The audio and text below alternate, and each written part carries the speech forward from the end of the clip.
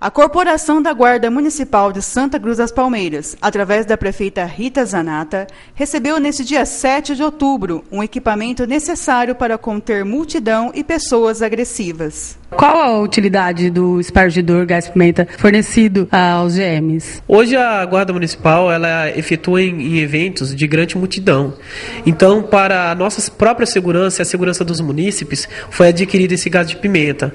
Um gás de pimenta não letal. Ele serve para conter a multidão em larga escala. Você dá uma um jato de, de, spray, a multidão em si se dispersa. Então ele se, serve mais para conter a multidão. É um produto 100% natural que não causa danos nenhum à pessoa. O efeito, depois de aplicado no agressor, ele tem um efeito aproximadamente de uns 20 minutos ou mais. E a pessoa fica imobilizada devido ao desconforto que traz esse produto na pessoa. Então, Santa Cruz Palmeiras tem mais esse equipamento para ajudar na segurança da, da nossa cidade. E é através desse a gente espera mais, mais.